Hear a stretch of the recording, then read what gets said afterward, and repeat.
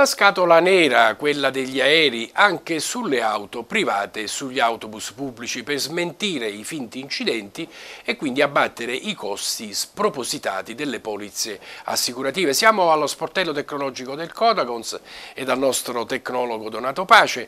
Ingegner Pace, cosa dovrebbe registrare la scatola nera e quali novità potrebbero esserci se venisse istituita anche per le quattro ruote e per i bus del trasporto pubblico? La scatola nera dovrebbe premiare i virtuosi e far sì che paghino molto meno rispetto a chi ha un'andatura, quindi accelerometrica, più alta e quindi pericolosa.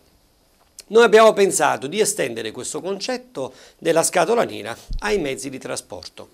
Però, attenzione, parlare solo di scatola nera che registra la velocità e l'accelerazione non è sufficiente, perché l'incidente potrebbe comunque essere creato ad hoc eh, teniamo presente il classico colpo di frusta, che oggi eh, una compagnia di, di, assicurazioni è costretta a sostenere un costo che va dai 5.000 fino ai 12.000 euro. Di conseguenza, moltiplicate per n mezzi di trasporto, provate a immaginare cosa significherebbe.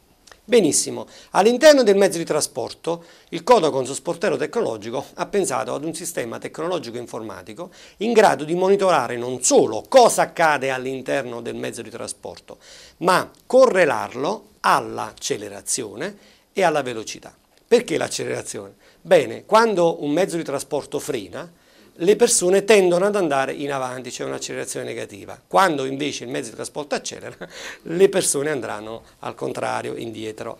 Di conseguenza, misurando un tracciato, quindi correlando un tracciato, sovrapponendolo alla traccia video, sarà possibile registrare l'andamento e sarà possibile, in presenza di denuncia di sinistro, che l'autobus in quel momento realmente ha fatto un'accelerata una o decelerata che possa giustificare questo incidente o non possa giustificare la simulazione.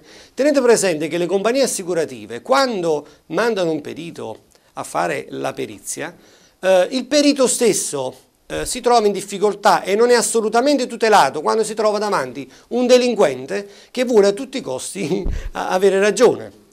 In questo modo, piuttosto che costringere il perito, ed è anche giusto che lo faccia, che debba indagare, ma gli diamo i mezzi che consentono oggettivamente e non soggettivamente di monitorare e quindi salvare a distanza queste informazioni e nel tempo il cittadino eh, furbo mm, verrà praticamente scovato, scoperto e quindi sarà impossibile eh, riuscire eh, a, a, raggirare eh, il meccanismo e quindi anche un perito compiacente, perché esistono anche periti compiacenti che quindi fanno perizie a vantaggio del danneggiato perché semmai poi dividono la torta.